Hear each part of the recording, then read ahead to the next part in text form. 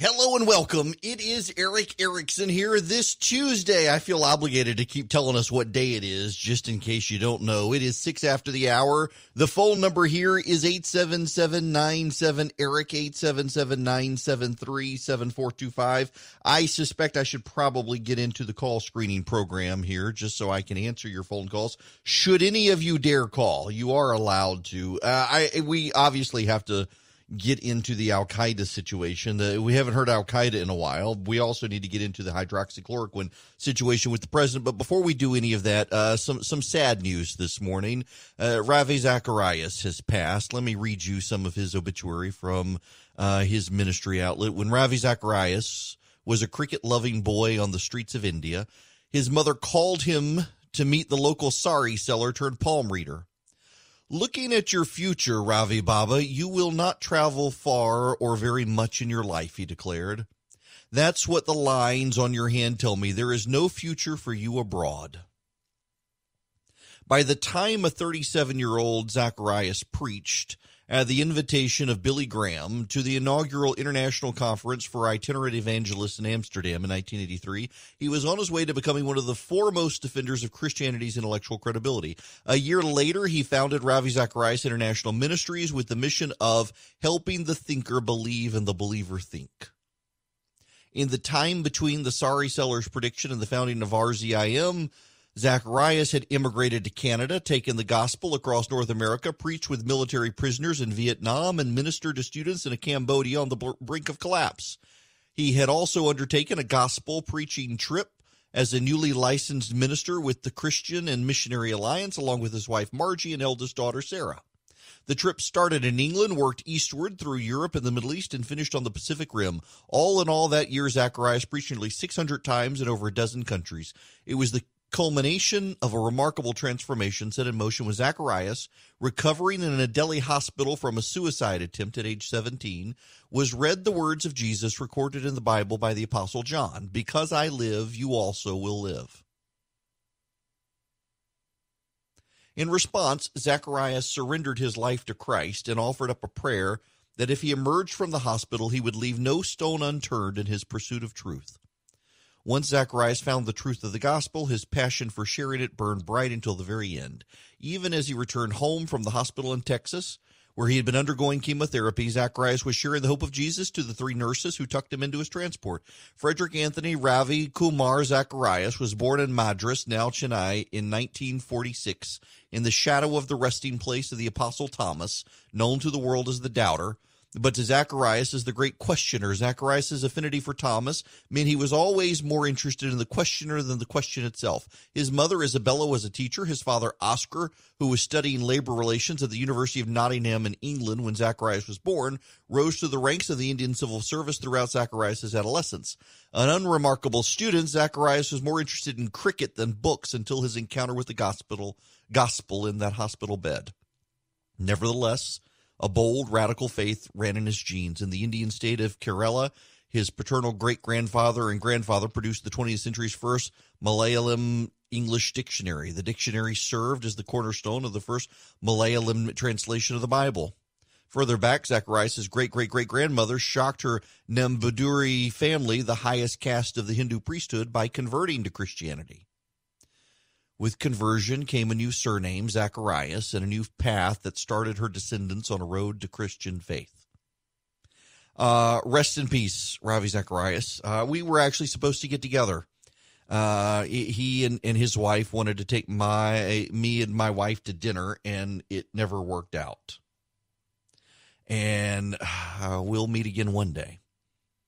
But uh, what what a what a fantastic man! Uh, smeared several years ago, smeared by someone claiming he had engaged in inappropriate relationships. No truth to the matter, but it was uh, magnified and blown up by a liberal press out to get the man. Uh, but man, uh, what a what a fantastic person! What a what a great great man uh, who led so many people to Christ. Now, I did not expect to start the show with that today, but my goodness. Um, I I just if you've never seen or or read uh, you read the real face of atheism.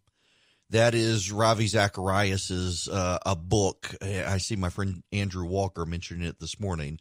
Uh, Zacharias was just a, a, wonderful human being who loved the Lord, and he will deeply, deeply, dearly be missed by a lot of us uh, who he ministered to knowingly or unknowingly over the years. Uh, just a good, good man. Now, we do need to move on to the headlines of the day, uh, and I will take your phone calls 877 97 Eric, 877 973 7425. Uh, the program this morning is sponsored by First Liberty Building and Loan in Newnan. Uh, if you need help getting into the PPP program, I do highly encourage you to reach out to First Liberty Building and Loan. Uh, the reason why the Frost family has been helping small and mid sized businesses since the early 1990s, it is their specialty. They don't work directly with individuals, they work with businesses businesses. And if your business needs access to capital and needs to grow, they can help you. But more importantly, if your business needs to get into the PPP program, they can help you. There is still money available in the program, and First Liberty is willing to help you. What you do is you go to firstlibertyga.com. Firstlibertyga.com is their website. Click on the apply now button, fill out your paperwork there and they will get it processed. The one thing that the Frost family who runs First Liberty tells me is that you do need to have your uh, payroll uh, in order. Make sure that your forms are available, your um, federal quarterly filings, or anything legit you can prove show use to prove payroll to get into the program. And then remember, if you don't lay anybody off and maintain your payroll, uh, you will have that loan converted into a grant, uh, which is a great thing. So firstlibertyga.com is the website. Now, uh, the president's doctor has begun prescribing the president hydroxychloroquine. Look, I got to be honest with you. Uh, there was a ton of media on this and a, and a lot of clips and I didn't ask Charlie, uh, my producer, to to cut any of that stuff up. Uh, there was some of it that I figured it was worth playing, uh, including the president's own words. But by and large, uh, the media discussion of this is in complete outrage over the president saying anything about it and, and recognizing he did it. And, and some of them, and I got to be real honest with you. Part of me wonders if I'm real honest about it part of me wonders if the president really is actually taking hydroxychloroquine. And the reason I say it this way, and I realize his doctor has come out with a statement defending him, but it just it, it sounded very much to to me that it was just the president uh, responding to the media and throwing something. And you know he does this sometimes. He throws stuff out like this to get the media off in a direction. He's learning now in the virus how to control the media response. It took the president a long time to to be relearn how to steer the media in in particular directions. And uh, and and now I think he's figured it out again with this hydroxychloroquine stuff. People don't want to write the the news, you know. But if you look, but he's the one that signed the application, the very important form. He signed it. Now, if he doesn't believe in it, why would he sign it? And a lot of good things have come out about the hydroxy. A lot of good things have come out. And you'd be surprised at how many people are taking it, especially the frontline workers, before you catch it. The frontline workers, many, many are taking it. I happen to be taking it. I happen to be taking it. I'm taking it, hydroxychloroquine. When? Right now, um, yeah. A couple of weeks ago, I started taking it. Because I think it's good. I've heard a lot of good stories. And if it's not good, I'll tell you right. I'm not going to get hurt by it. It's been around for 40 years for malaria, for lupus, for other things. I take it. Frontline workers take it. A lot of doctors take it. Excuse me. A lot of doctors take it. I take it. Yeah, I hope to not be able to take it soon because, you know, I hope they come up with some answer. But I think people should be allowed to. I just listen. I, I a lot of doctors say I take it. Um, I listen. I, I, I, I don't know whether the president's taking it or not, but the media meltdown on this, uh, there, there really was no reason for me to to play a, a ton of audio of people. I, there's there's only one that I want to play, and this is to give you a sense of how the media is responding to this. This is CNN's treatment of the matter. President Trump is taking questions at the White House. He just mentioned that he is taking hydroxychloroquine, the medication the pr- president has promoted in the past as a potential treatment for coronavirus, though the FDA says that you shouldn't take it uh, outside of a clinical trial of the hospital, and other studies have shown it doesn't work on coronavirus. The NIH has also issued warnings about using the drug for coronavirus patients. I, I want to bring in uh, Jeremy Diamond. Uh, uh, joining me now. Jeremy, what, what, what, exactly did President Trump say? He's, he's taking hydroxychloroquine?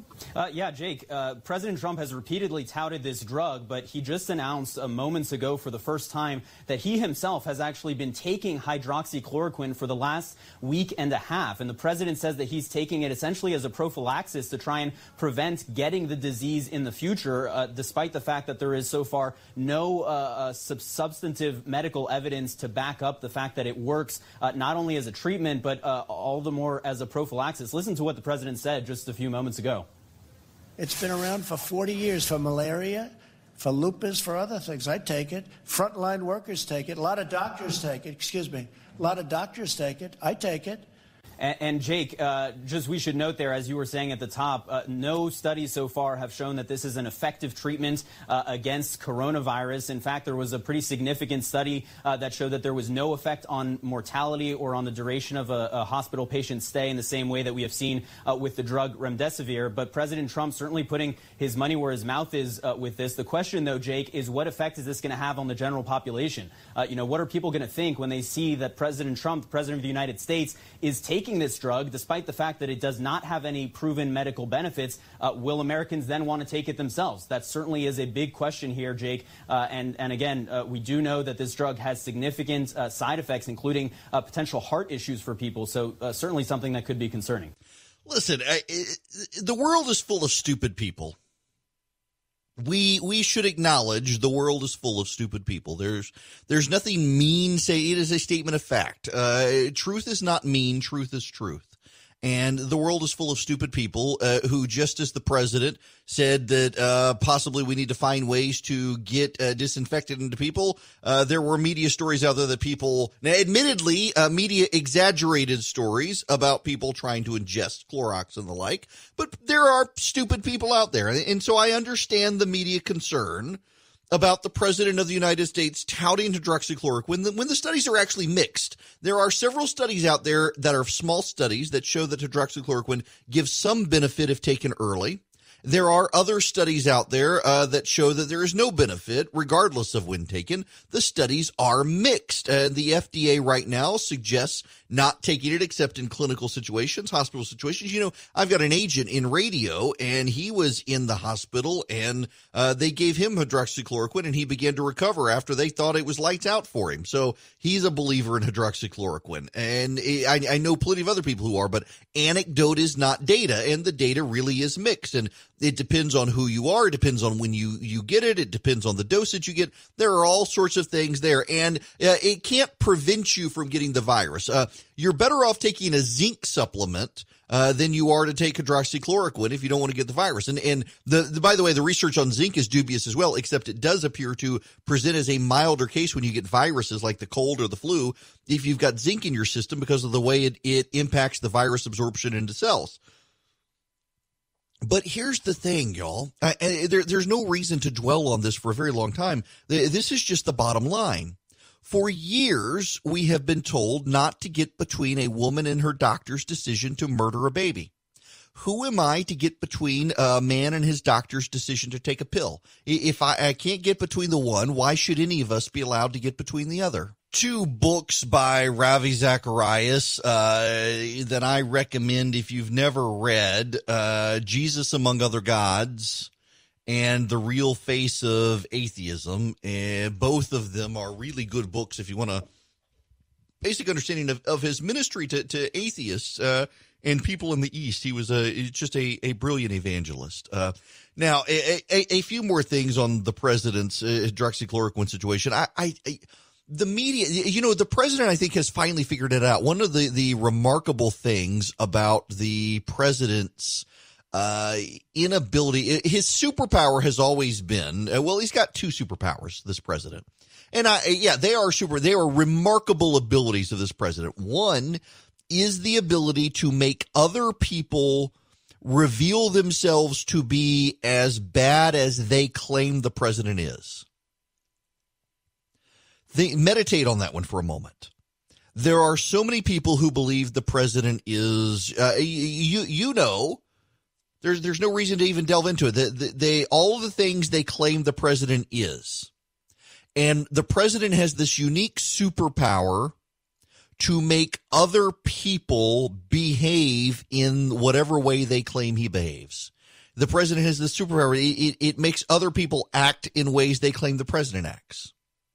The other superpower that this president has or had is the ability to steer the national conversation in particular directions.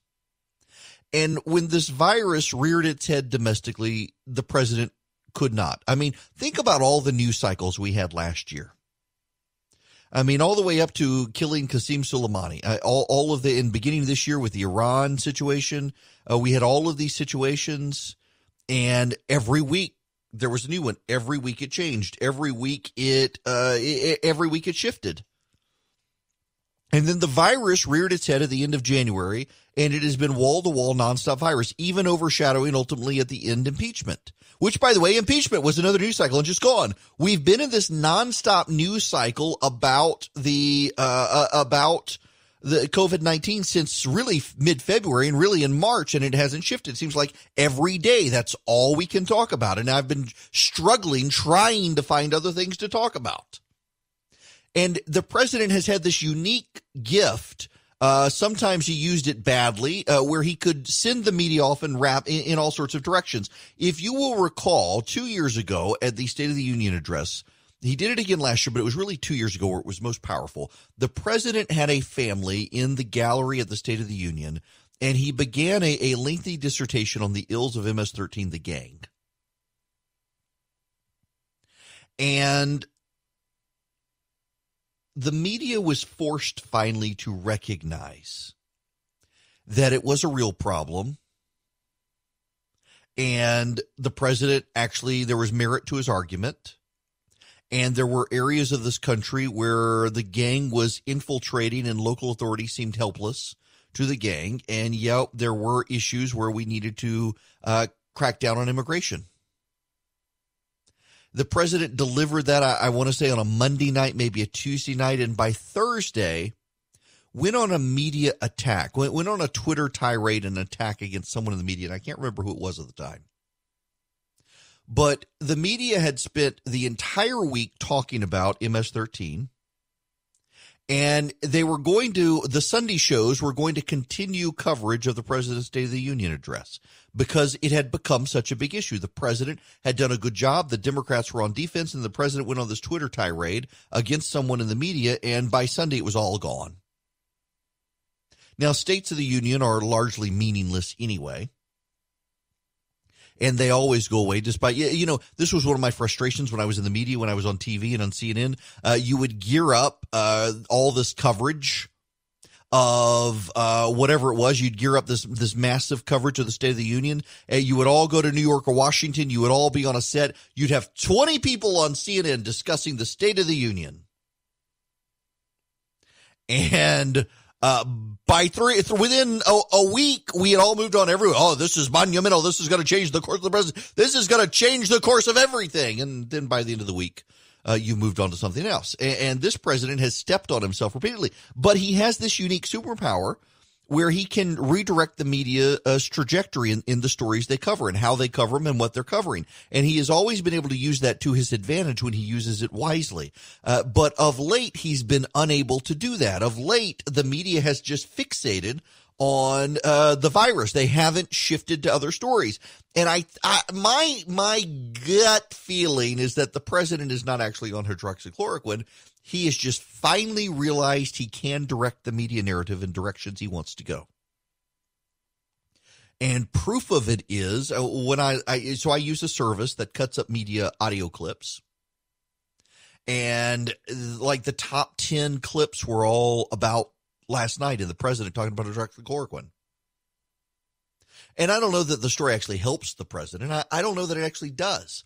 But the fact that he is relearning how to direct the media's coverage of things, I think, is going to be a useful skill moving forward. The the the, I mean, the Obamagate situation, another one. How many? Uh, you've got Margaret Sullivan at, at the Washington Post, right? We're going to turn this into Hillary servers, please, media. Don't go down this road. It only helps Trump. Yes, you're right. It does help Trump.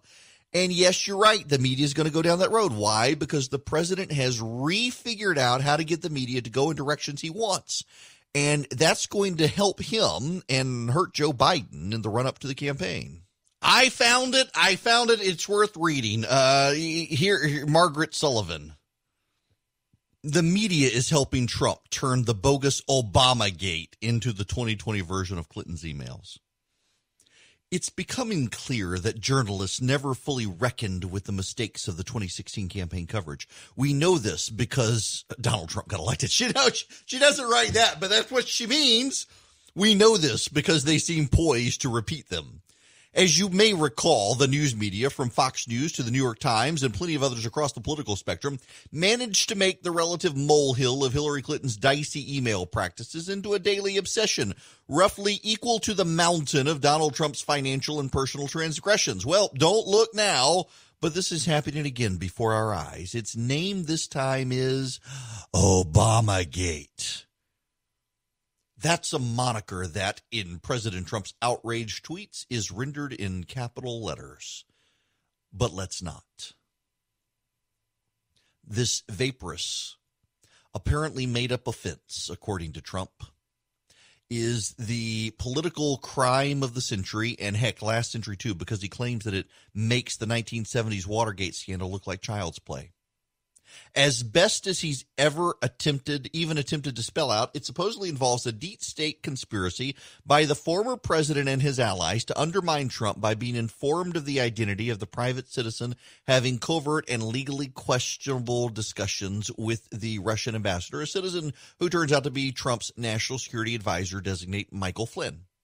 Despite the fact that this practice is legal and normal, the non scandal around it is getting plenty of attention. On Chris Wallace's Sunday morning interview show, usually an island of relative sanity in the hyperpartisan pro Trump world of Fox News, a bottom of the screen chyron read is Obamagate an effective campaign strategy? And Trump water carrier Karl Rove was allowed to opine that there were some very serious questions that need to be answered. It does stink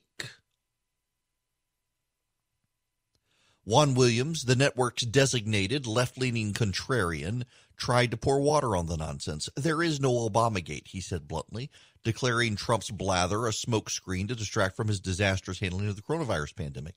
Still, the conversation about the non scandal went on for about seven minutes on this popular show at the nation's most watched cable network.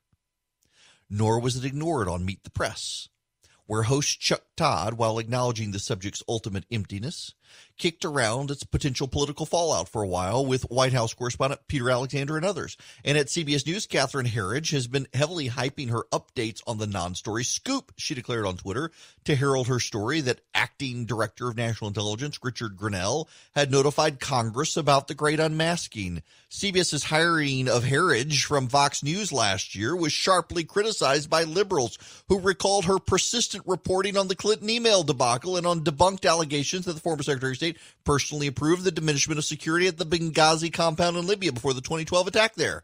So let's just say that Obamagate is getting plenty of attention across the media spectrum, even if it's filtered through the lens of whether it will matter to swing state voters. But it does. So th- this is this is the, the ridiculous thing here with, with this Margaret Sullivan piece, and you're hearing more of this in the media, is that please don't talk about this thing that we don't like. But when the president of the United States starts talking about it, it's kind of hard to ignore it. Can we not agree on that? I mean, when the president of the United States is out there constantly doing this, it, it, the media has a hard time avoiding it. I mean, the, the media itself would look irresponsible if the president is talking about this. So they don't even, even if they're doing it to dismiss it. And that's her point. She doesn't want him to talk about it at all. And by the way, it, it, will it have an impact on swing voters? I actually don't think it will. I actually don't think the Obamagate stuff uh, matters to most people in the same way Hillary Clinton's email situation did not matter to most people. There were not a bunch of swing voters out there who said, you know what, I'm not going to vote for Hillary Clinton because of her incompetence on email or on Benghazi, frankly. Swing voters didn't vote for Hillary Clinton because they genuinely didn't like her in general. I mean, that's the thing I think a lot of Republicans miss. Listen, just because you hated Hillary Clinton and thought the email scandal was proof that she thought she was above the law doesn't mean that a bunch of swing voters who hated Hillary Clinton also voted against her for that. No, they, they voted against her because uh, they, they didn't like her. They never liked her. And she was a terrible campaigner and she didn't go to swing states that she needed to go to. It had nothing to do with the email server of Benghazi. And you see, you know, in the echo chamber of the right, where I live, people get spun up on this sort of stuff and it doesn't really matter. You think it matters because you and all of your right leaning friends all talk about it as if it matters. But you were never going to vote for Hillary Clinton anyway. In the same way, on the left, hydroxychloroquine doesn't matter. On the left right now, they're spun up about hydroxychloroquine and the president taking hydroxychloroquine. And the president shouldn't take hydroxychloroquine. And he's going to make stupid people take hydroxychloroquine. And people on the left, this is a grave concern to them. They deeply care about this issue, but no swing voter cares about the president and his doctor. I mean, again, after all, for years, we've been told you can't come between a woman and her doctor's decision to murder a child. You can't come between a man and his doctor's decision to take a pill. You just can't. And swing voters couldn't care less. You got to be able to navigate through the echo chamber to what actually is reality. And on, on the right, you're convinced that Obamagate matters. It doesn't. On the left, you're convinced hydroxychloroquine matters. It doesn't. What matters is swing voters. And right now, what matters to swing voters is the virus and the economic recovery. And if the president can move us beyond the virus to economic recovery, that matters, which is why so many people on the left are just adamantly convinced that the president should not be allowed to do this, that the president should not be allowed to reopen the country. By the way, there's a phenomenon. I, wrote about this this morning and I, I, this is this is important. Um, the the president of the United States this morning. I, am sorry, uh, not the president of the United States. I, I, wrote about this this morning with the president and everything else that, that's going on out there. The president of the United States and, and governors in the South are invested in the idea of reopening the government. Brian Kemp yesterday had a call with the president where the president of the United States uh, commended him on reopening. And this comes on the heels of the president. Remember, where, where's the, I, I saved the audio just so we can hear it one more time. I told the governor of Georgia, Brian Kemp, that I disagree strongly with his decision to open certain facilities which are in violation of the phase one guidelines for the incredible people of Georgia. They're incredible people. I love those people. They are they're great. They've been strong, resolute, but at the same time, he must do what he thinks is right. I want him to do what he thinks is right. Uh, but I disagree with him on what he's doing. But I want to let the governors do. Now, if I see something totally egregious, totally out of line, I'll do. But I think spas and beauty salons and tattoo parlors and barber shops in uh, phase one, we're going to have phase two very soon, is just too soon. I think it's too soon. That was what the president said then. And now he is commending Governor Kemp for reopening. And you know what's happening? When this virus first started, if, if you're a regular listener to this program, back in January and February, I was telling people that you needed to go on and stock up. Take this seriously. That it, maybe it wouldn't come here, but if it did come here, it was going to be problematic, and uh, you needed to take care. You needed to stock up.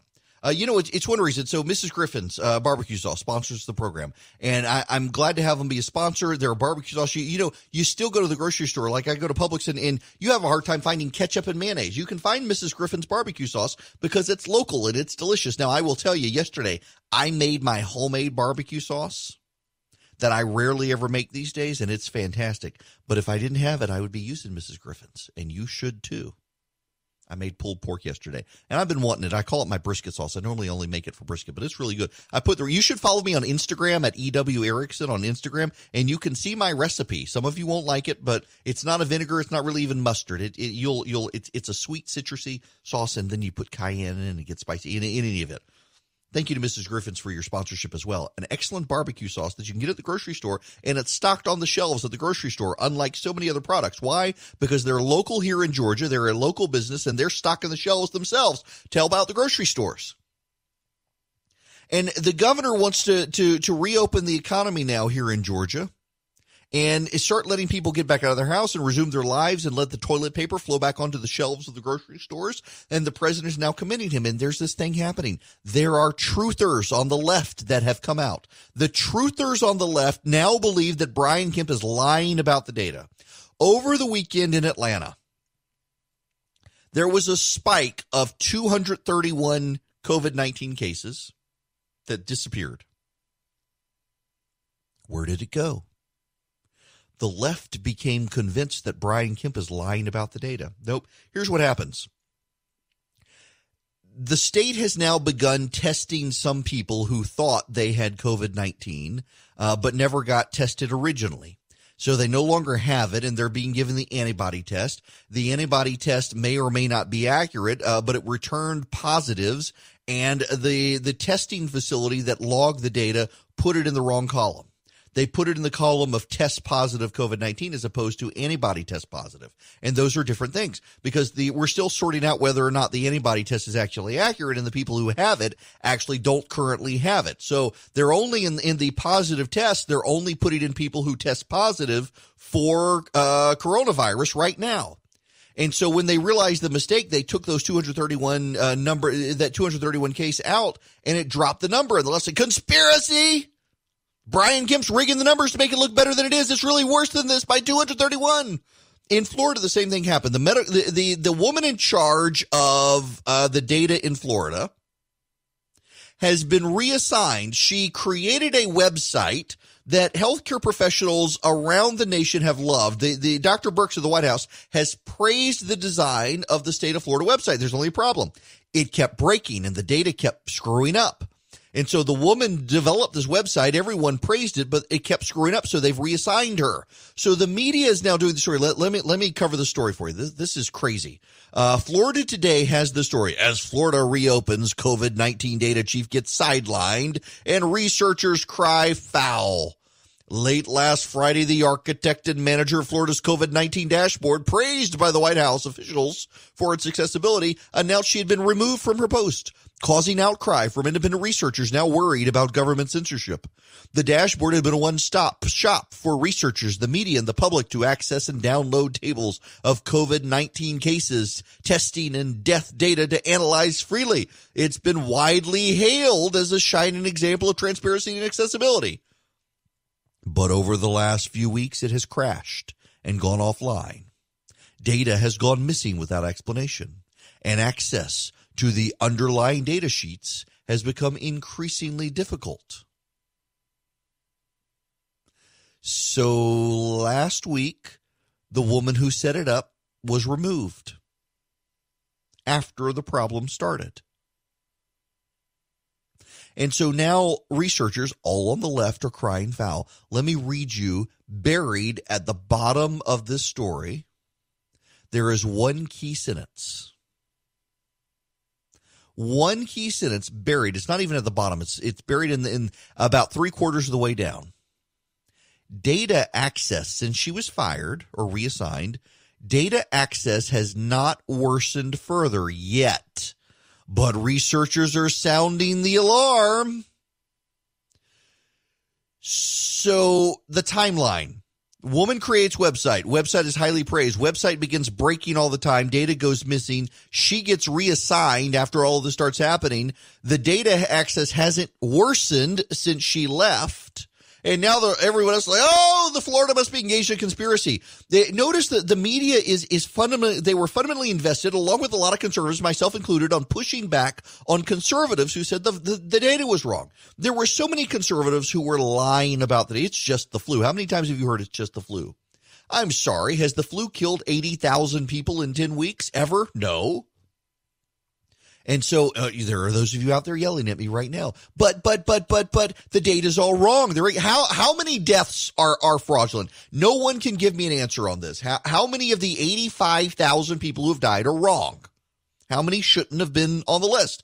No one can provide. Is it 40,000? Well, if it's 40,000, you know what? That leaves 45,000 people who've died in 10 weeks of this virus, which still makes it worse than the flu. Nobody can give me the accurate data. I can give you the data, I just can't make you believe it. But the right engaged in these conspiracy theories. People on the right, myself included, push back on it. Well, now the left is, is creating these conspiracy theories that Brian Kemp and Ron DeSantis are rigging the data as they reopen the states. They're downplaying the data. They're they're changing the data. And you know what? What's so frustrating about it is that members of the media who are willing to push back on conservatives aren't willing to do it on the left because many in the media actually agree. Many people in the media actually believe that Brian Kemp and Ron DeSantis are painting rosy scenarios, and they can't admit it because there's no evidence of it, but they believe it, so they're not willing to push back on the left. If you're not willing to push back on left wing data truthers like you were uh, right wing data truthers, you're not an intellectually honest person. You've got to be willing to push back on that. But they're not.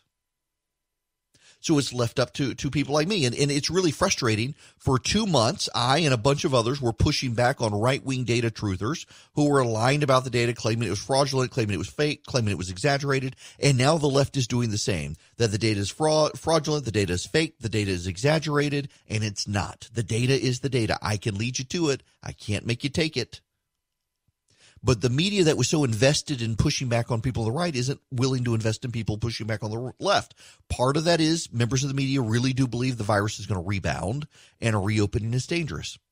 But part of it, and a growing part of it, is that so many members of the media have institutionally invested in the idea that Brian, uh, that Donald Trump is bad, Brian Kemp is bad, Ron DeSantis is bad, and they all need to be beat. That they can't afford to give them any credit and they can't afford to allow them to reopen their states. Because if their states reopen and the economy rebounds, that's going to help the president.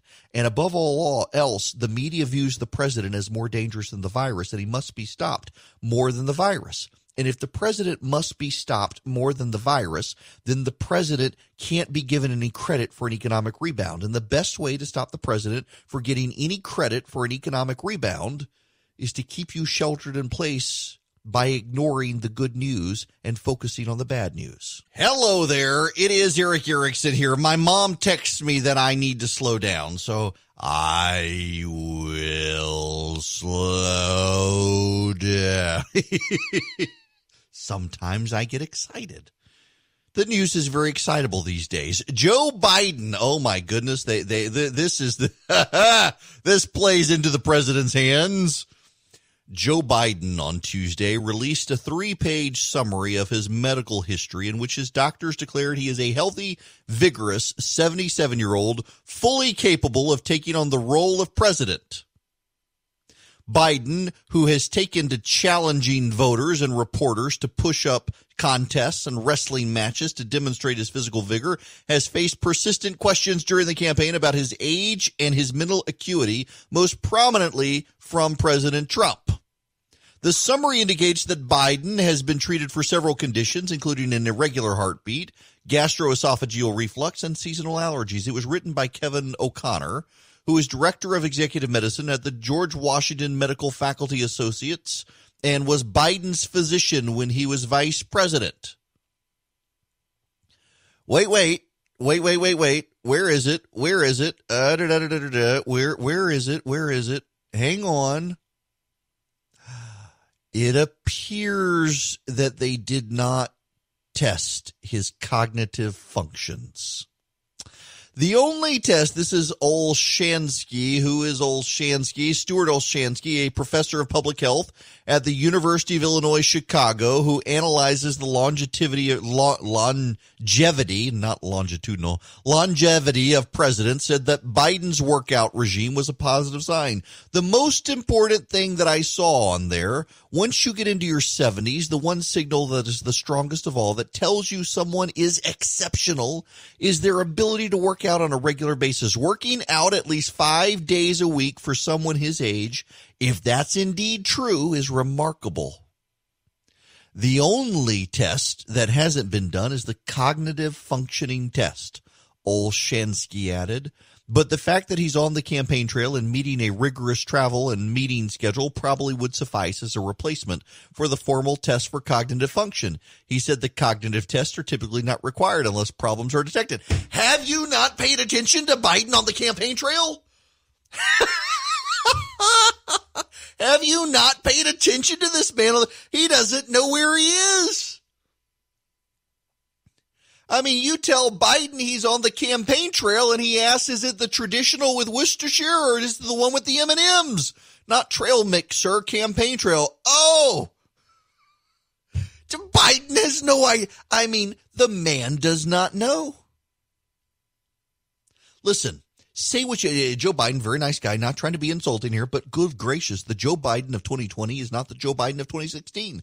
The Donald Trump of 2020 is the exact same Donald Trump that existed four years ago. The Joe Biden of today is not the Joe Biden of four years ago, and only the Democrats try not to pay attention to that. Uh, Joe Biden being on the campaign trail is not a test of his cognitive function because he doesn't even know he's on the campaign trail in order to be able to test it. Hello and welcome. It is Erick Erickson here. At the bottom of the hour, Byron York is going to join me from the Washington Examiner. So you're going to want to stick around for that. The phone number, if you want to be a part of the program, 877-97-ERIC, 877-973-7425. The program sponsored by First Liberty Building and Loan in Newnan, Georgia. If you are a small business that needs access to the payroll protection program, be sure to go to firstlibertyga.com. You can apply for PPP on their website. Uh, get your payroll in order. Uh, get your proof of payroll in order for the paperwork verification, and you'll be able to get into the program. Uh, there's money available. They can't guarantee it. I, I do need to say that they can't guarantee you get access to the program, but they'll do their best, and they've had a great track record being able to get people in. Uh, First Liberty Building and Loan in Newnan, they're they're a small lender and they specialize in helping small businesses, mid-sized businesses. They've been doing so since 1993. Uh, it is their passion, and they want to help you. Thank you to them for sponsoring the program. FirstLibertyGA.com is their website. If you need access to payroll protection, uh, you need to give them a call stat uh, before the money in the program runs out, because who knows when Congress is going to pass this next bill. It's ridiculous, and we will get there. But uh, can we take a distraction from politics, a, a meandering road away? We got Byron York at the bottom of the hour, so we'll get pulled back into it. But Mel Gibson has a new movie coming out. I woke up this morning and Mel Gibson was a trending topic on social media, and I thought, oh Lord, what happened? Um, and well, what happened is the outrage mob decided to go after him. Uh, Mel Gibson has a new movie. It is called Force of Nature. And in it, uh, Mel Gibson is living in Puerto Rico uh, and refuses to leave uh, his condo in Puerto Rico as Hurricane Maria is approaching. You remember Hurricane Maria uh, really devastated the island. He's refusing to leave, and uh, Hispanic drug lords uh, raid the building, and, and he's got a he and Kate Bosworth have to fight them off. Uh, and uh, let me just read you some of the tweets. The outright disrespectful. It's uh, no, I'm sorry, I misread that. It's outright disrespectful to the people who went through the traumatic experience that was Hurricane Maria. For Mel Gibson and any Hollywood company to come to Puerto Rico, Puerto Rico and make a movie where the Islanders are the bad guys and he and the white people are the good guys. Ha ha! Mel Gibson is starring in a movie where he refuses to evacuate his home in Puerto Rico that's about to be hit by a category five hurricane. Where is the causacity? Whose idea was this? Americans, Mel Gibson to play a Puerto Rican resident. Unacceptable. The people of Puerto Rico do not deserve this. Um, um, the trauma of my people as the perfect setting for the next Hollywood people. The gringos do not support or contribute to Puerto Rico, but they want this movie. Oh my goodness gracious! Uh, and, and people are, are people are a, a, a, traumatic hurricane that brutally affected it's it's affected not affected uh, Puerto Rico and continues to this day is being made into a movie and it's about a white man and that white man is the racist Mel Gibson. You can't make this up. Why is racist anti-Semitic Mel Gibson killing Hispanic people on Puerto Rico in a movie? Uh, wow. Um, wow. The, okay, hang on. One more, one more. One of the most tone deaf things I've seen from Hollywood in a while. Two white people stranded in Puerto Rico during the hurricane fight criminals. You'd think it's easier to have empathy for people of color than the mental acrobats needed, acrobatics needed to just, y'all, come on. You know, the, the worst thing about social media is it allows the outrage mobs to connect with each other and grow the mob. This is this is craziness. Um, it, people have been whipped into frenzies. It's like, for example, people are outraged at what's her name, Kelly Ripa. Kelly Ripa has been doing her live with Kelly and whoever the sidekick is for several weeks now, from for for a couple of months now from home and she's largely just abandoned worrying about getting her hair done. You can see gray roots and stuff, and people have been shaming her for doing that. So she got on and basically said, How dare you people? I'm trying to do this show all the time. I'm not going out. I'm not violating quarantine. I'm I'm getting my daughter to uh, do my hair. How dare you criticize me? Now she's getting lit on fire on social media for telling people not to criticize her you, you can't win with the outrage mob. Uh, the only way to win with the outrage mob is to ignore the outrage mob. Uh, and, the outrage mob will eventually move on to other people. It, it really is just absolutely silly. Uh, and and now they're going after Mel Gibson. They will never allow Mel Gibson to repent uh, of of prior behavior and sins. Here's the thing: uh, people in Hollywood love Mel Gibson.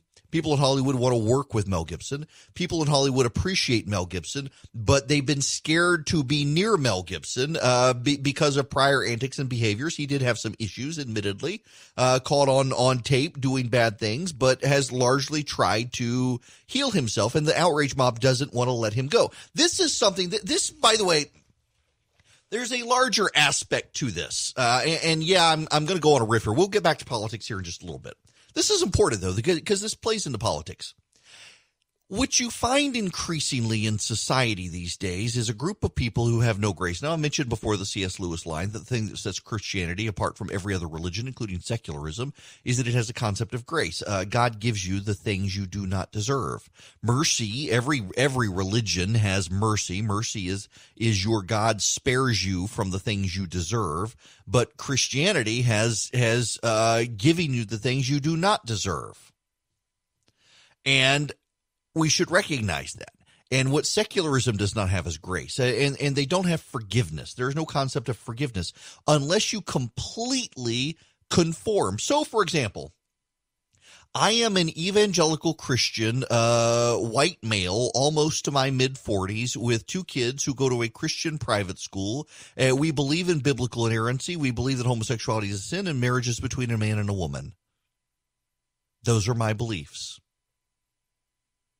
that is anathema to most of culture these days. In fact, I can tell you, I've had more than one person tell me I will never be able to grow this radio show to a national success, which which I want to do. I, I, I want this program to be a national program. I, I don't want it to be just a Georgia program. I want over time for it to grow into something national. I, I have made no bones about that. Uh, I I want to be a, a nationally syndicated radio show host. I see so many people who have become nationally syndicated radio show hosts who, frankly, I think just throw red meat at the crowd and and tell you what they think you want to hear as opposed to what they actually believe. And I'm perfectly willing to tell you what I believe, and you can disagree with me, and we can still be friends or not. I, I, get angry email all the time from people who are upset that I, I dare to challenge something that they believe, even though we're on the same side of the aisle. But I'm not willing to abandon my convictions, and I, I weave those convictions into this program. I, I do a, a show on Good Friday whether you like it or not, whether the program directors of America like it or not. I do a show about Easter on Good Friday. And there are plenty of people, oh, well, what, when you get big, you're going to have to give this up. I, I have no plans to do that. there are people who believe uh, unless you conform to culture, you can't access culture. You're not allowed to access culture. Look at take for example. Remember Lauren Daigle. Uh, Lauren Daigle is a brilliant singer, and Lauren Daigle started out in, in Christian music, and she had some crossover success into pop music. And Billboard asked her her views on homosexuality, completely not relevant to a music interview. But of course, Billboard is a secular outlet, and Lauren Daigle is an evangelical Christian, and they asked her, and she said she didn't know. She wasn't sure. Well, Christians lit her on fire for not having biblical clarity at a moment where she was trying to break over into, into success, showed her no grace in the matter or understanding. And the left lit her on fire because she, she didn't say, uh, she disagrees with her faith, just that she didn't know.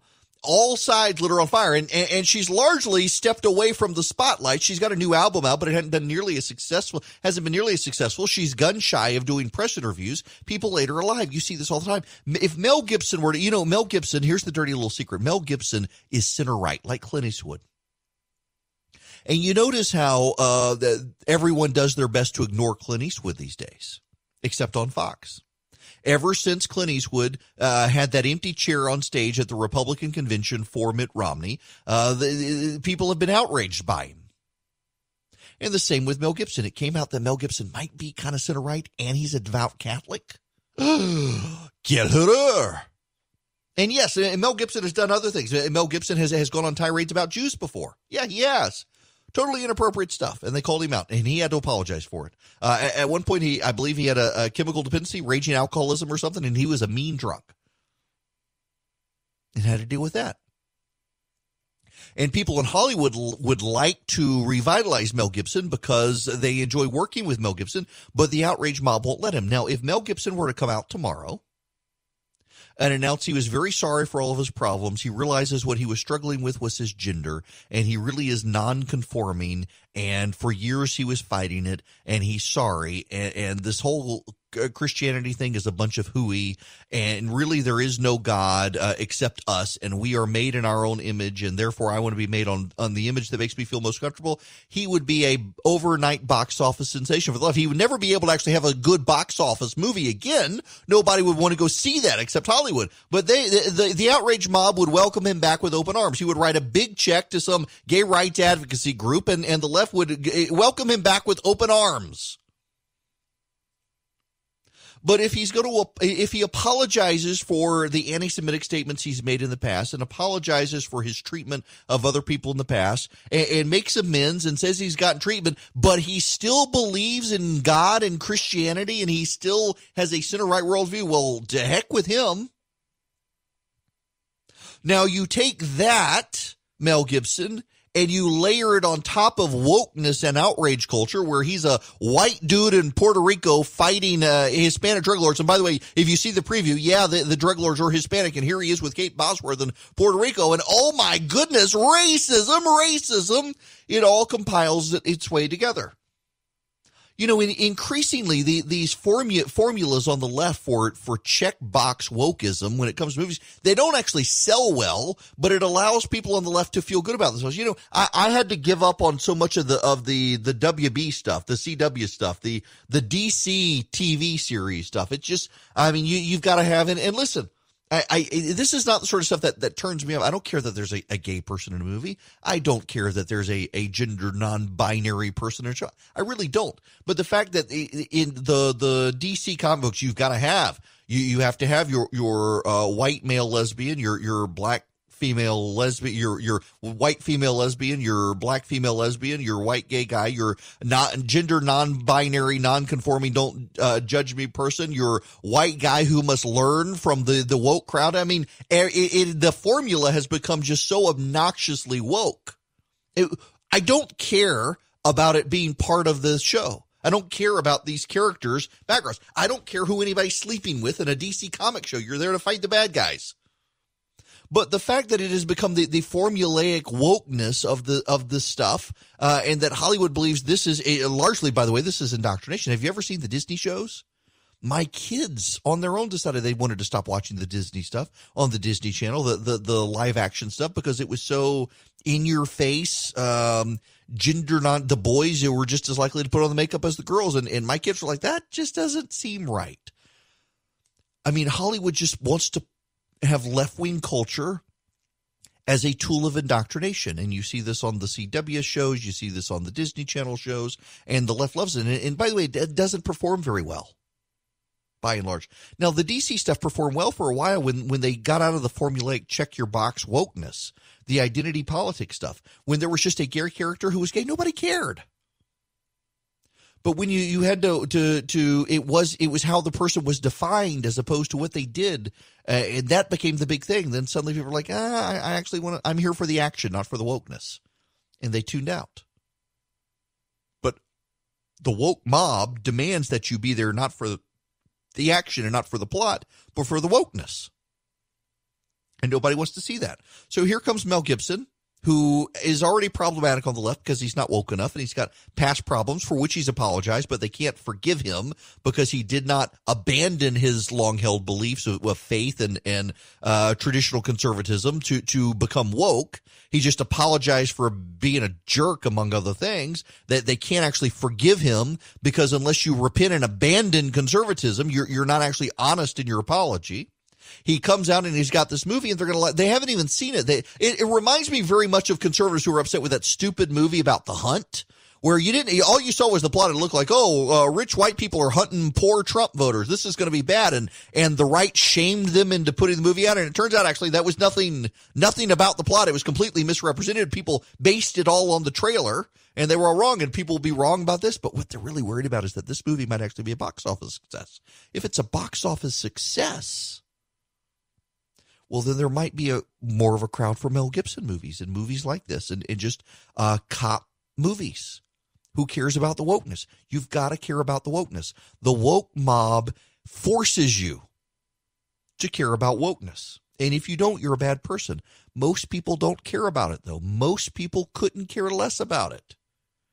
And so the outrage mob must be ever more vocal to silence those who point out that nobody really cares about this stuff. Nobody wants to watch this stuff. People just want to go be entertained. They don't want to be preached to and indoctrinated. Well, you're not allowed to say that, even if you believe it, because wokeness won't abide by that. And so the outrage mob has come again for Mel Gibson for Derry to just put out a movie. And they wanted permission. They they wanted him to realize this is bad. It's not really bad. It's a Mel Gibson movie. Either you're going to like it or you're not going to. You don't have to go watch the movie but then they don't want you to watch the movie either. I got to read you guys the story. Welcome back. The phone number is 877-97-ERIC, 877-973-7425. Uh, this is from the Babylon Bee. I, I saw this and just died laughing. Headline.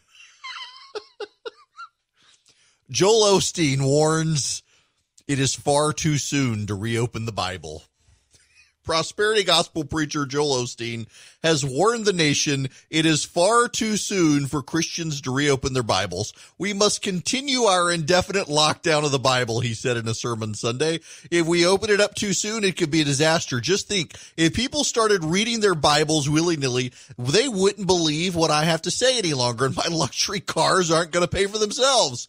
Out of an abundance of caution, it's important we keep our Bibles closed as long as possible. Studies have shown that reopening the Bible can lead to sudden heart change, fear and anxiety, and the destruction of every tenet of the prosperity gospel. Osteen says these F- effects are detrimental to Christians who simply want God to bring blessing, favor, and lots of cold hard cash into their lives. We simply can't reopen God's word anytime soon. Osteen then declared words of victory over himself and his congregation for the next 20 minutes to get the taste of the word Bible out of his mouth. I love the Babylon Bee. Um, it, it, it, it is well done. Uh, let, us see. Hang on. Uh, if you've never been to the Babylon, the website is babylonbee.com. Um, let's see. Uh, here we go. yes. Um, Mayor Bill de Blasio has a stern warning for beachgoers in the city of New York today. You will literally get blown up. The mayor proudly announced that he had the New York Police Department install a state of the art naval minefield surrounding the city so that anyone who swims in the water will get flung sky high. To make sure as many people stay alive as possible, we're going to explode you for going out of the water. Now, listen, this is actually based on a story. Where is this clip? Uh, listen to this. This is Bill de Blasio talking about swimmers in New York City. In terms of enforcement, uh, NYPD will be out, Parks Department will be out. Obviously, first and foremost, to help make everyone remember don't go in the water. You're not supposed to go in the water. It's a dangerous situation to ever go in the water when there's not lifeguards present. So there'll be a constant reminder of that. If anyone tries to get in the water, they'll be taken right out of the water. So we want to keep people moving. We want to make sure nothing gets too crowded. Don't want to see the boardwalks crowded. Just classic social distancing. I guess I shouldn't say classic because it's something we've only dealt with for a few months, but it, it feels like it's been a long time. We understand the basic concept of social distancing and crowding, and the NYPD will always work to avoid crowds and gatherings. So they'll be out, and parks enforcement will be out. They will pull you out of the water if you're caught swimming here from the Babylon Bee. That was actually Bill de Blasio. It's serious. The police will pull you out of the water in New York if you're caught swimming. But here, from from uh, the Babylon Bee to make sure as many people stay alive as possible, we're going to explode you for going out in the water. De Blasio said as he unveiled the official New York minefield. You go out in the water, boom. You step on the beach, yep, more mines, boom. And if the mines don't get you, the heavy machine guns will. This Atlantic wall will keep New Yorkers safe for years to come. well done. When we come back, Byron York is going to join me from the Washington Examiner. It is the Erick Erickson Show, and the phone number is 877-97-ERIC, 877-973-7425. Joining me from Washington, D.C. is, well, a longtime political reporter. You see him on TV. He's at the Washington Examiner. Uh, for years was at National Review, someone you got to read every day. That would be Byron York. Welcome to the program. How are you? Hey, Erick, I'm doing great. Thanks for having me. So I, I read your email yesterday uh, in your daily memo that's come out now at the Washington Examiner, and I was glad to see you writing about this. I, I was actually surprised that Ben Smith at the New York Times, of all people, would write about uh, resistance journalism and uh, Ronan Farrow. And it, seems so much this has become a pattern in the media in Washington and New York where uh, you write stories, uh, there are kernels of truth, and then when you issue the correction three weeks later, it gets not even a quarter of the attention as the original piece that turned out not to be true. Yeah, this is, uh, I mean, it was an interesting piece in the sense that it was attacking Ronan Farrow, who's a particular sort of icon, sacred cow, whatever in New York journalism circles about some of the reporting that he's done uh, on the Me Too movement. Uh, particularly, uh, he also did a story about Michael Cohen, who's the president's lawyer now in jail, um, that just doesn't hold up at all. But resistance journalism is way bigger than anything Ronan Farrow uh, has done. Uh, it is a mindset that we've had since 2017 um, that if you if you pick the right target, if the person you're writing about is deeply unpopular in your media circles, you can virtually say anything. Um, and it, you know, and if it turns out to be wrong, you don't suffer great consequences. You might, in fact, win a big award. Um, I saw somebody yesterday say, "Well, maybe this is the beginning of the end for resistance journalism." I don't think so. I think as far uh, until the, the current president, as long as the current president is still in office, I think it will still be the way to acclaim and awards and money. Well, you mentioned this, and, and you and I have both paid attention to, to journalists for years, and there's clearly always been a left leaning bias, but it seems like now it, it's not just a left leaning bias, but those reporters in the mainstream media who either might have sympathies with the right or don't lean far enough left are often shamed or punished. You see, for example, Catherine Herridge leaving uh, Fox for CBS, and suddenly it's it's the media it's, it's fair game to pile on her. The attacks on Catherine Herridge, who's a great reporter, were as predictable as the sun coming up. Right. They, they were utterly predictable. And what what she did was at Fox, uh, her beat was national security She had done a lot of uh, reporting on the investigation into the investigation with the whole Trump Russia thing, with Michael Flynn, with the dossier, all that sort of stuff. And she continues to do that um, at CBS. And remember, we got some really big stuff recently in the Michael Flynn trial. Remember those uh, uh, when uh, obviously when the uh, uh, the uh, government dropped the charges. We got mm-hmm. these notes from the FBI that they were gaming out the Flynn interview that you know before they're doing it, and they say, "Well, should our goal be to get him to lie, or should our goal be to get him fired?" I mean, that is serious stuff. And Catherine reported on that, and you looked at it, and you knew she would be attacked soon, and indeed she is. It, it has nothing to do with what she's uh, reported uh, has all to do with politics and Trump. And a number of people at CBS, by the way, have defended her because it's good reporting. Yeah, it is, and it's it's unfortunate to see. Know, it's almost like a poisoning. And I realize one of the benefits of social media, particularly Twitter, is we can finally see that so many of the reporters we long suspected had uh, left wing worldviews really do. Uh, but also at the same time, it's it's been increasingly disturbing to me that the media is not only more and more lacking in self-reflection these days as they demand Republicans uh, over go over and above with self-reflection, but also uh, that they refuse to. It, it, takes a lot more time for conservatives to make their case to the media than than for the left. I, have mentioned on this program before when I was at CNN, uh, I never ever was asked to talk about a story that originated from the Washington Examiner or from National Review or anywhere else. It was all, but from Daily Kos, from Talking Points memos, you name it. Uh, oftentimes the stories were were originated there. It's like they never even had the intellectual curiosity to figure out what people on the right thought. Well, look, they're just biased. I mean, that's just all there is to it. Now, look, conservatives have been talking about that for a long time. They talked about during Reagan. They talked about during the Clinton years, Bush, Obama. I mean, they they've talked about it for a long, long time. I do think there is an extra phenomenon here uh, with Trump in the sense that many on the left and many journalists feel this is a moral issue, that the president is a uh, moral disaster, and he's he's a, a bigot and a xenophobe, and and and being such a moral disaster uh, justifies more aggressive tactics in opposing him and so that um, so look, um, stronger measures are required to deal with this president, and that's what we're seeing. So it's it's not just old. Uh, run of the mill, the kind of bias that the Media Research Center would point out all the time, very usefully back in the back in the day. It's something different. It is kind of a moral crusade against this president.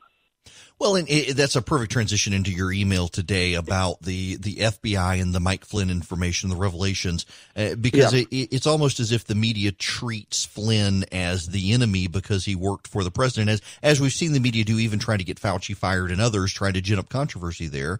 Uh, and it, it makes you wonder what are they leaving out in the story that Republicans are trying to get attention to and can't. Yeah, this is a new newsletter I'm doing called the Daily Memo, which you can go to WashingtonExaminer.com and uh, and sign up for. The, the the the story today is Republicans on the House. Now they're the minority; they can't really get anything done. Uh, they want to know this. This is what we were just talking about. Remember the notes from the FBI before the Flynn interview? Should we try to get him fired? Should we um, catch him in a lie? What sh- what should we do? Um, they want to know more about those and have uh, invited the two uh, people involved, uh, the the former FBI supervisor Bill Priestap and the agent Joe Pientka uh, to come ask answer questions before the House Judiciary Committee. Now they're the minority. Chairman Nadler does not want this. Okay, it's not going to happen unless unless one of these two just agrees to do it, and they're they're they're hoping that one of them will agree to do it. This is the plight of the minority. I mean, it happens. It's it's right. the way it goes. The party that won controls the House completely, um, and, the, and the Republicans are not the party that won. Uh, right. But it is good to be on the record trying to get this information, and you never know. Sometimes you find things out. Well, and for those of you just tuning in, I'm, I'm, talking to Byron York from the Washington Examiner. He's got a new daily memo that comes out by email. And to make it easy for you, if you use my, my the keyword I always give you guys, data, uh, text it to 33777. I'll text you back a link. Uh, you can click the link. It goes straight to the subscription page for the email if you want to get it. Byron, you, you, towards the end of your, your uh, memo today, you mentioned the Durham investigation, and maybe these guys can wait to see what happens there. What's your take on the Durham investigation? Well, I think it was interesting when we saw the Attorney General say, look, you know, if you're thinking that Barack Obama or Joe Biden are going to get indicted here, you know, forget about it. And I think it's been a bad trend on the right as well as the left, but in the right in this case, of wanting to see people hang for various offenses right. when what we really need to find out is what happened in the uh, Obama administration during the transition, uh, what sort of spying was done on the Trump campaign, um, the use the use of dossiers and and and, and um, wiretap warrants and all that kind of stuff.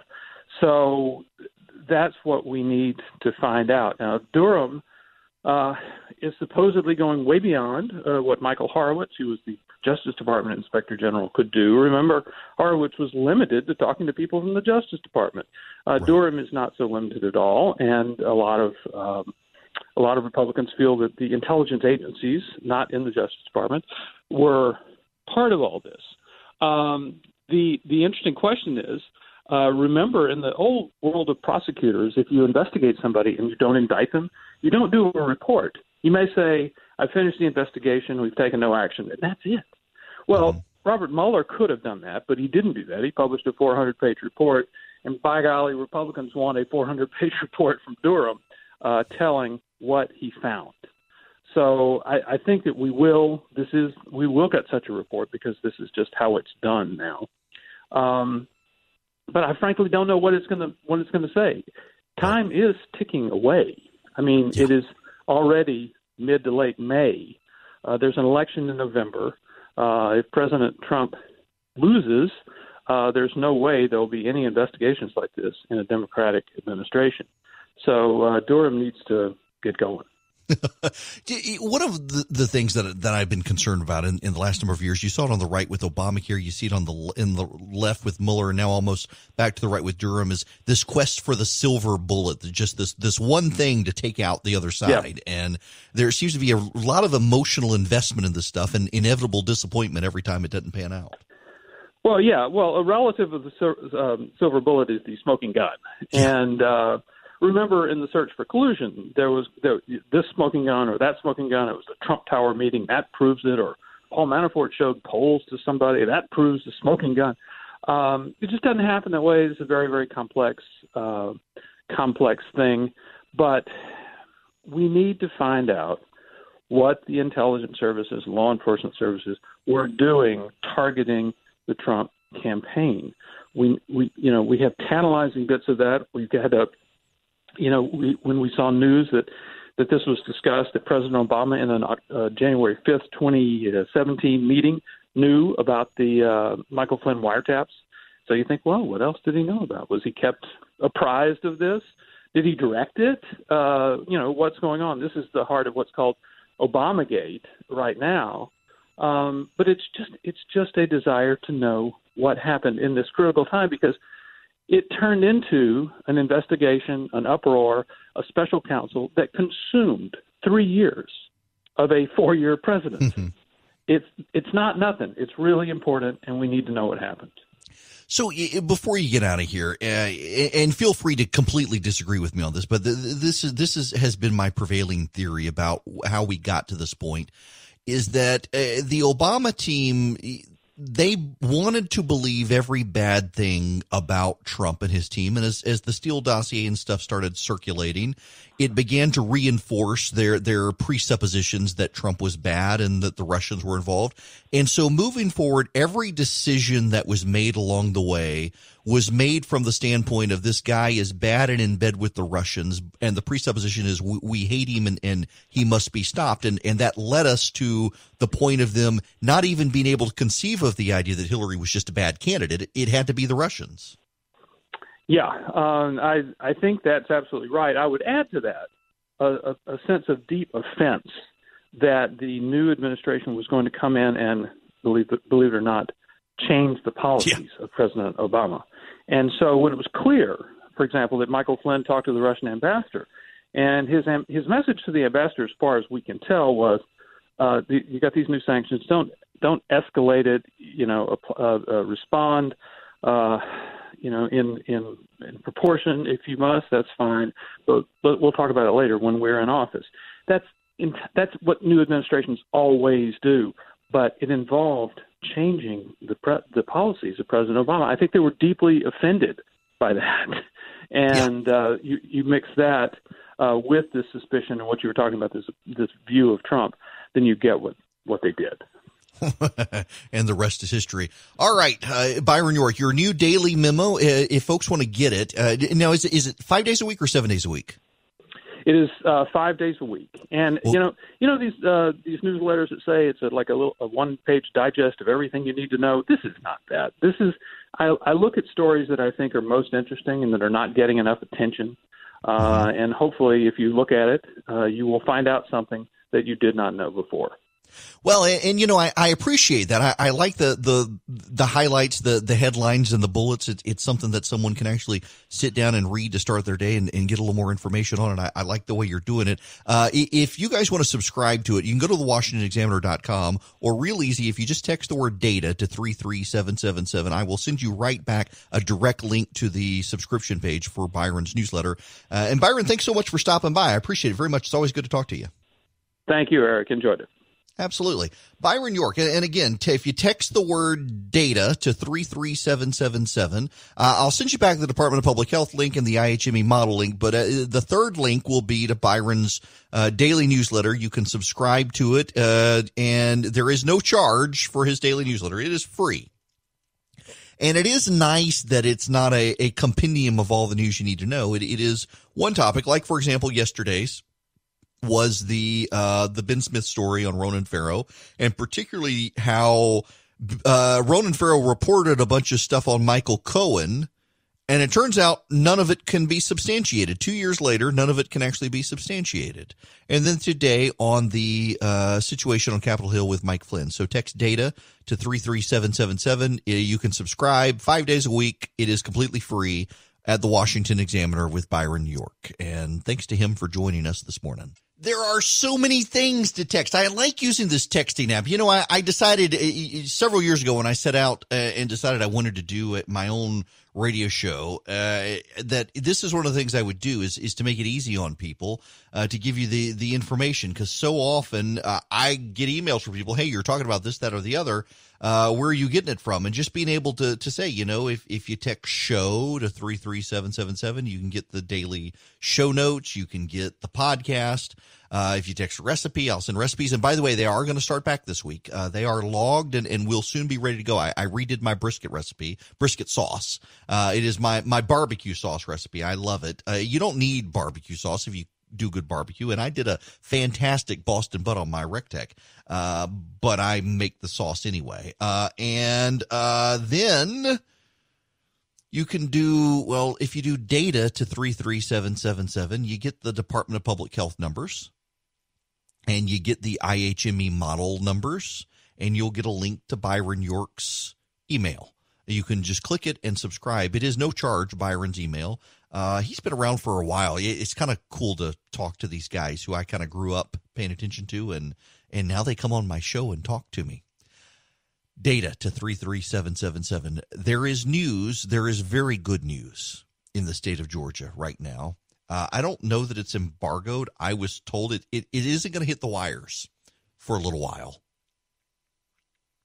Can I can I tell you? Can you can I tell you in advance because it hasn't hit the news service yet? In fact, let me make sure. Let me make sure. I see. I, I don't know. I, I may get in trouble for letting y'all in on the secret, but it's really good news, and I I I think it's news that you need to know. Let's see. No, no, no, no. It's no hadn't hit the wires yet. I should I tell you guys? I, I'm thinking I can tell you because it's it's gonna hit the news. I might as well break the news. There's breaking news. This is this is big breaking news. For the first time since the beginning of April, hospitalizations in Georgia are below 1,000 for the virus. That's remarkable. Uh, since the beginning of April, we've had at least 1,000 people in hospital care for COVID 19 in Georgia until today. We're now below it. That is good news. Uh, and we should all be happy with that news. We should all be happy uh, with the progress in the state. And you know, this gets back into what I was talking about earlier that uh, you've got people who don't want to accept the good news now. Now there there are those who don't want to accept the good news because uh, things have been so bad they don't want to get disappointed if the bottom falls out. And, you know, I I do think. In fact, let me read you my my daily. So if you text data to three three seven seven seven, you're going to get back to the Department of Public Health link, the the IHME, and the, and the Byron York thing, and you're going to get a, another text message later and it's going to say, "Hey, I've got this daily newsletter. You know, I, I pay for the texting service out of pocket. Uh, I, I, I do all this stuff. Uh, we don't have advertisers subsidizing it, and one of the the great ways to help me is to subscribe. It's just seven bucks to subscribe to the email that I send out. Whether you do or you do not, I try to make a, a portion of it freely available to everyone. And let me read you how I started it today. I suspect, this is me writing this morning, I suspect we may see a viral rebound in the United States that pushes some to aggressively go back into a lockdown. I don't know that the United States will, but I also think so much media rage reporting has happened about Trump and the virus that the media has largely failed to note just how similar other countries have performed to the United States. This suggests it is not Trump, but the virus. Unfortunately, the media is in permanently is permanently in blame Trump mode. Certainly, there are legitimate criticisms. Silly me just thinks when the entire planetary governmental systems behave similarly that it's not the president of the United States, but some external factor, like a microscopic entity. Likewise, other countries are seeing viral rebounds and contemplating new lockdowns, so I expect that here too. I do. I, I, I expect we will see a governmental lockdown. Uh, or at least an attempt, because I think we'll see a, a potential viral rebound. I hope not. I, I, really hope not. But if every other country on the planet is starting to see it, I, I, how are we going to be an exception? But that should not mean we avoid the good news. And the good news is that we have seen a trend line in the right direction. We have seen a decline in the spread, and we are now below a thousand people in the hospital with COVID 19 in Georgia, and we should be applauding that news. Hello and welcome. It is Erick Erickson here across the state of Georgia. And I say that intentionally because as much as I have global ambitions for this here media radio empire, uh, we're right now a Georgia show and, and we got to get into some Georgia news here. Uh, particularly, I'm getting so many questions about the ballot. Uh, there are things we need to discuss, uh, but I'll take your phone calls as well. 877 97 Eric, 877 973 7425. Uh, this hour of the program is uh, yet again sponsored by First Liberty Building and Loan in Newnan, Georgia. They can help you nationwide, by the way. Uh, it doesn't matter where you are listening. Anywhere in the United States of America, First Liberty Building and Loan can help you. Uh, they've been helping small businesses and mid-sized businesses uh, nationally since 1993, and right now they can help you get into the payroll protection program. They cannot guarantee it, uh, but they will do their best to get you in. go to firstlibertyga.com. That's their website and click on the apply now button at firstlibertyga.com. Apply now, uh, fill out the form, get your payroll paperwork in order, and they'll help you get into the program. No guarantees, but they've been having good success getting businesses in. If your business needs it, let them know. I want to spend a few moments uh, talking about the ballots for the election. And you should know I, am prepared to tell you to to vote uh, in a couple of races. Um, in the ninth congressional district, if I lived in the ninth congressional district, I would be voting for Matt Gurtler uh, for Congress. If I lived in the seventh, I would be voting for Rich McCormick. If I lived in the sixth, I would be voting for Karen Handel. And if I lived in the 14th, I would uh, vote between Marjorie Greene and, and Kevin Cooke. Kevin Cooke uh, is one of the Marjorie Greene doesn't have a a legislative record, and Kevin Cooke does. And Kevin Cooke's record is is the type of conservative record where you know he's going to stand up to his own side. He's one of those. He and Gurtler both are on the resolution calling for the ouster of Speaker Ralston, which is the speaker is out to get them. Uh, it looks like there's going to be a runoff up in the 14th. If you want to make sure uh, that you're in a solid runoff with solid people, you want to vote for Kevin Cooke or Marjorie Greene up there uh, and get the two most conservative candidates in that runoff. The, the polling up there shows it's going to be a runoff. Um, uh, Michael Caldwell is running for the state senate against incumbent Brandon Beach, and Brandon's fine, but Michael Caldwell is hands down more conservative. We can improve that seat by getting Michael Caldwell in there. Uh, so I would vote for him. And if you're in the Newnan Peachtree City area, Philip Singleton uh, is the incumbent, and the Speaker of the House hates his guts and is out to get him. And I would vote for Philip Singleton. And if you're in North Georgia in the Dalton area, Chuck Payne has a challenger in the primary. Vote for Chuck Payne. You absolutely, absolutely want to vote for Chuck Payne. Uh, the, the, the left is out to get Chuck Payne. You want to support Chuck Payne. Uh, make sure you keep him in office. Now, when you get your ballot, if you're a Republican, I'm looking at, at my sample ballot. Uh, you're going to have some local races, but let, let's, let's walk through the ballot right now. And I'm going to do the Democrat and the Republican both. Uh, I'm going to start with the Republican, and you don't have a lot of races. You've got president, you just got Trump. You got Perdue for Senate, uh, Jason Shaw for Public Service Commission uh, for one seat, and and Bubba McDonald Jr. for another. And then you're going to have your congressman. Mine is Austin Scott. Uh, there's Danny Ellison and Vance Dean. I'll I'll vote for Austin Scott in that race. And then I've got state senate. Uh, there's no challenger to John Kennedy in the primary, and state house. There's no challenger to Dale Washburn in the house. Uh, for sheriff, I don't know who this Ricketson person is. Uh, but he doesn't have a challenger. And then you've got, you will have party questions before you get to any of your local and county races. Uh, well, actually, I take that back. Uh, you'll have, if you're, you may have district attorney, you may have county-wide races. So the way it works on the ballot is your, you've got all of your state, county, and city partisan races and then you have in your partisan primary ballot, you've got your partisan primary questions, and then you've got all the nonpartisan races, starting with judge and working your way down to like school board and, and mayor. Um, so when you get through all of the partisan races, each party gets to ask questions. Here are the Republican Party questions for the ballot. Should Georgia lawmakers expand educational options by allowing a student state education dollars to follow to the school that best fits their needs, whether that is public, private, magnet, charter, virtual, or homeschool? Yes or no?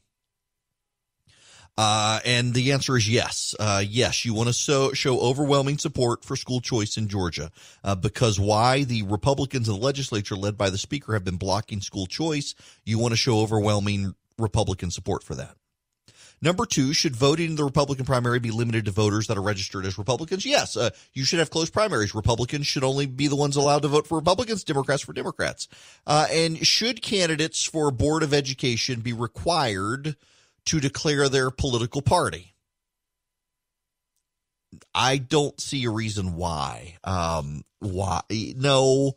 No, I, am opposed to partisan boards of election. Uh, educating your child should not be partisan.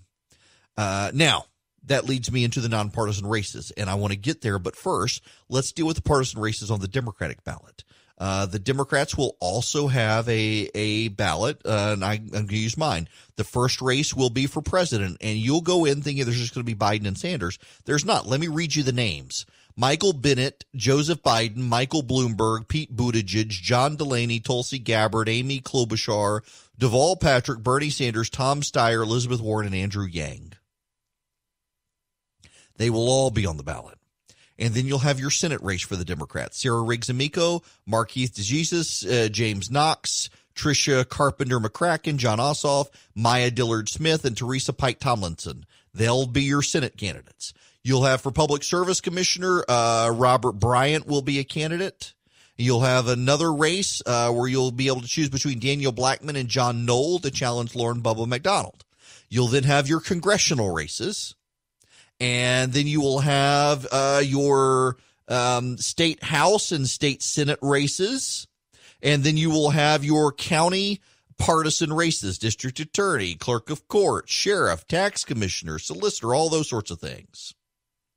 Then you will get into the Democratic Party question. Now, listen to these. These are what the Democratic Party wants you polled on. Should Georgians work to stop climate change and listen to the scientific community, which recommends immediate action to combat this serious threat to our planet?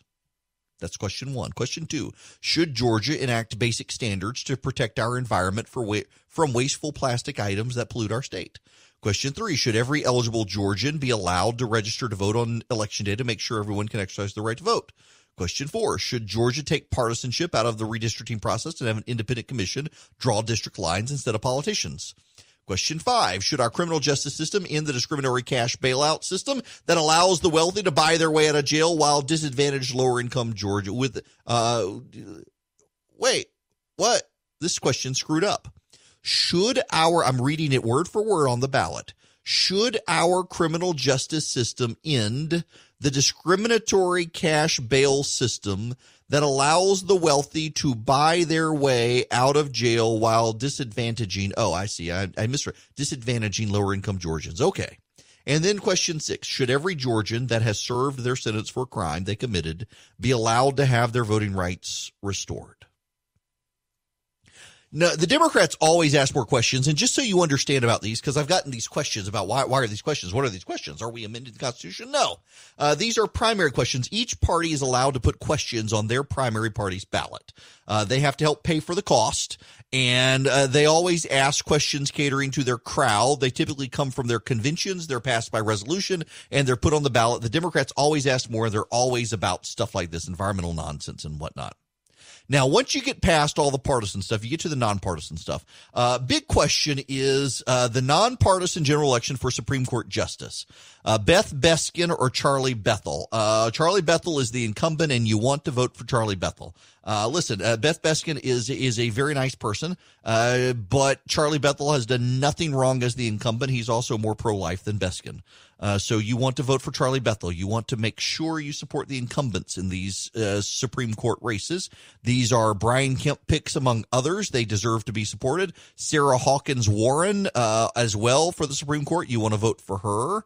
Uh, and then you will have Court of Appeals races. You will have uh, your Superior Court races and the like. You just vote for the incumbents, folks. Just vote for the incumbents, and you will not go wrong supporting the incumbents. Uh, and then in some places, you will have votes for coroner, for county nonpartisan races for boards of education, and for mayor, and and the like. Um, gosh, I, I got to tell you, I, am so I'm living in Macon, and we've got a we got a five person mayoral primary, and I I don't know. I guess I'm going. To I don't know this Blake Sullivan guy, but I, I like Larry Schlesinger.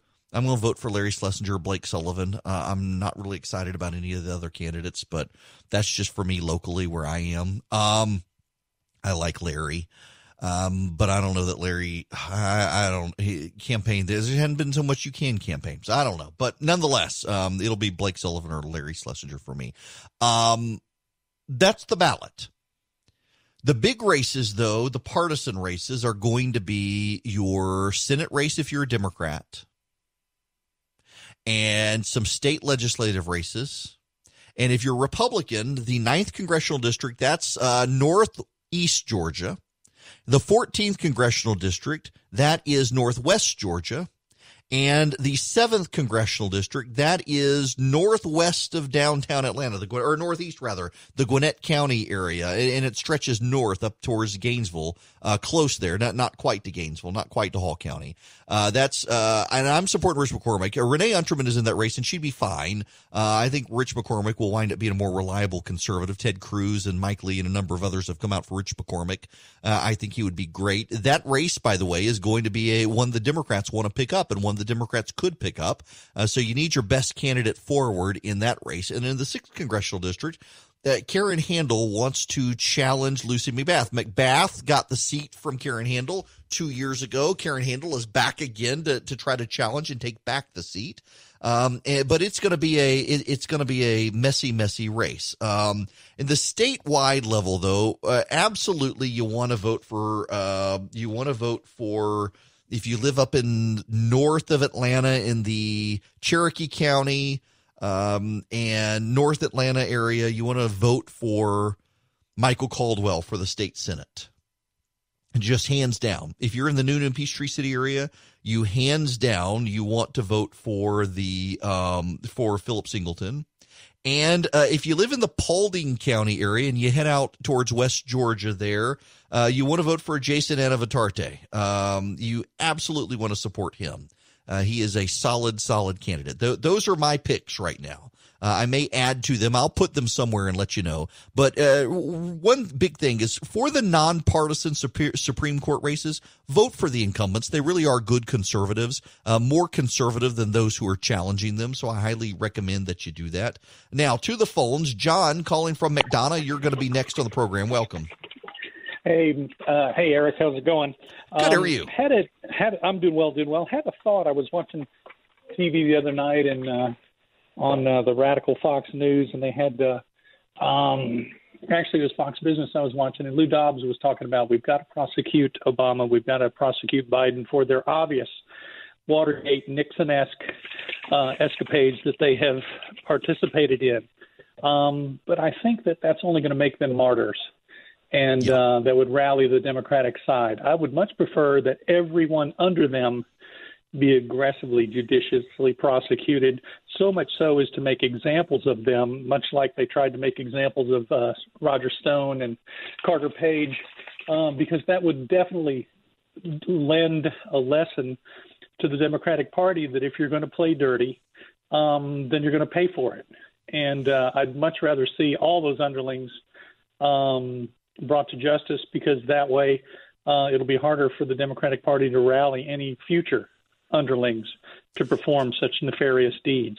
Yeah, I mean, after yeah, after know, Haldeman, so, Ehrlichman, uh, Mitchell, and Dean went right. to jail, uh, they let Nixon go. Um, the Democratic, uh, excuse me, the Republican Party was uh, um, scourged and uh, I'd like to see a scourging of the Democratic Party over this Obama gate.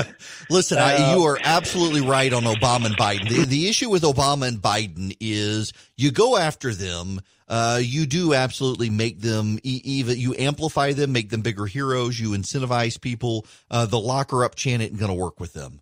Uh, the Democrats will turn people out, and frankly, uh, it, it is rather third world kleptocracy to go after the former leaders. it, it is, whether you, you want to admit it or not. Uh, this is what third world governments do. And if the Trump administration does it to Biden and Obama, you can be 1 billion percent sure that the moment they are no longer in office, the Democrats are going to go after them, and it just becomes a tit for tat that totally undermines uh, the foundations of the republic to to go after the prior leader.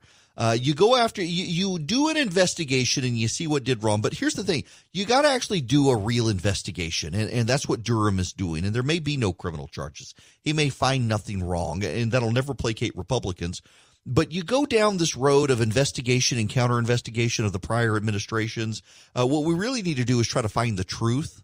Uh, if we make it about just uh, grievances and scoring points and, and settling things, then you're going to see it spiral out of control. Let's just find the truth of what they did because clearly there were people, absolutely, and maybe some of them do need to go to jail. There were people who overstepped their bounds because they hated Donald Trump so much they wanted to stop him and they sacrificed any objectivity they might have had to believe the worst about the incoming president to try to stop him. Hello there, it is Erick Erickson here. My neighbor just sent me this. We, we're, we're planning on uh, for the Fourth of July going to Hilton Head, and the headline in the island packet: Hilton Head Beach cleared Monday afternoon for large shark in the water. Uh, yay. Uh, see, I want to take my drone and fly it out and, and check this stuff out. I, ooh, wow. They're actually, ooh, wow. That is a big picture. My goodness gracious. You know, so when I was a kid, uh, living in, in Louisiana, we would go down, before we moved to Dubai, we would go down to Grand Isle, Louisiana. It's one of the, the first memories of the beach I have. Man, I remember getting so terribly sunburned down there one time and but there would be porpoises in the water, and I would just be convinced convinced that they were sharks. You would see the fins coming out of the water, and I would be freaked out. Man, I hated to go in the water. Uh, and, and, of course, everybody else knew that there were porpoises because they had uh, flat tails um, parallel to the water. And but man, I was I was just convinced. Uh, yeah, so you know, if the tail, if you see the fin coming out of the water and the tail is is up and down as opposed to across, uh, you're dealing with a shark. Um, but yeah, I, I I didn't know. Now nowadays, I, I like to to go to the beach. Uh, one day, I'd love to have a house in Hilton Head and, and, just be able to sit there and, and watch the the dolphins from the balcony, watch the dolphins in the water. I, I love it. But yeah, I'll stay out of the water if there are sharks. But I'm going. By God, am I going? Yeah, I I need the break. Um, I may actually take off this Friday just because it's it's finally time. I, I don't think I've taken off since February, other than I was sick last Monday. Uh, y'all wouldn't have wanted me here last Monday. Uh, but nonetheless, okay, I, I digress. Uh, we got to move on to other things. Uh, there is actually some more good news out there that you you need to know about. Uh, you, have you heard all of the stories about people getting reinfected? There have been people who tested positive again for uh, after they've recovered they've tested positive. You've heard the story. It's happened in Korea, South Korea. It's happened in Taiwan. It's had Taiwan, not Taiwan. Taiwan. has happened in Japan. It's happened now in the United States. There are people who they fully recover and then they get tested a second time and they test positive. And there has been a big debate in the scientific community as to whether or not people are getting reinfected and can you get reinfected. It's actually one of the unknown things about the virus. Can you get reinfected? Well, there is a new study out that uh, the patients who are testing positive and presumed reinfected are not actually reinfected. Uh, they are uh, the virus is the, the the test is detecting the dead virus that their body continues to shed. Researchers are finding evidence that patients who test positive for the coronavirus after recovering aren't capable of transmitting the infection and could have the antibodies that prevent them from falling sick again. Scientists from the Korean Centers for Disease Control and Prevention studied 285 COVID 19 survivors who had tested positive for the coronavirus after their illness had resolved, as indicated by previous negative results. The so called re positive patients weren't found to have spread any lingering infection, and virus samples collected from them couldn't be grown in culture, indicating the patients were shedding non infectious or dead virus particles the findings are a positive sign for regions looking to open up as more patients recover from the pandemic. Uh, so that is more good news to add to the body of good news, including the latest good news from Georgia that hospitalizations have fallen below a thousand for the first time since the beginning of April. Good news all around right now on this. You can call in. Welcome. It is Erick Erickson here, 877-97-ERIC, 877-973-7425. And keep in mind, that if you want Byron York's newsletter or you want to see the daily totals for uh, the, the coronavirus spread in Georgia, text the word data to 33777. I'll get you back that. Let me give you that update right now. Uh, 38,624 confirmed cases, but that's cumulative, not current. There are only a couple thousand current cases in Georgia, which is really good. Uh, there are 7,002 cumulative hospitalizations in Georgia, but less than a thousand current. And that's the first time since uh, the exact date is April 8th. On April 8th, the state of Georgia crossed over the thousand hospital bed mark. And we've been above a thousand people in hospitals in Georgia for COVID 19 since April 8th. And uh, now we're below it. And that is a good thing. And the progress continues. Uh, in fact, the governor's office reached out about me talking to him this afternoon, and, and if I talk to him, I'll be sure to bring you guys my interview with him tomorrow um, morning. Uh, but it's really good news, really, really good news, and we should uh, be celebrating that good news now. Uh, there is other news out there as well that we need to get to, including, uh, you know, in the seventh congressional district, uh, Alexandria Ocasio Cortez has weighed in on Nabila Islam. Uh, wants the, that, that is the best known liberal in the district and the best known liberal in the country is now jumping in, uh, because of quote unquote Islam's, uh, campaign because of her working class background, it provides her with unique insight into what Americans go through on a regular basis. That's right.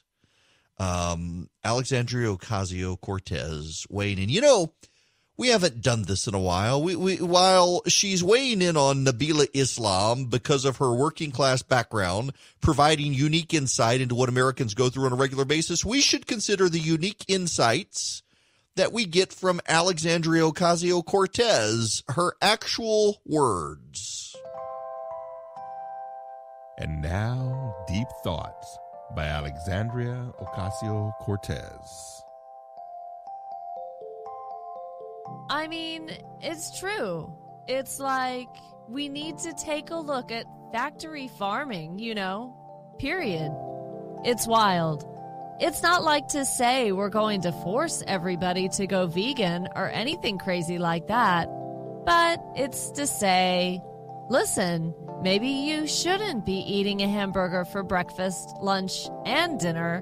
Like, let's keep it real. That was Deep Thoughts by Alexandria Ocasio Cortez. Those were her actual words.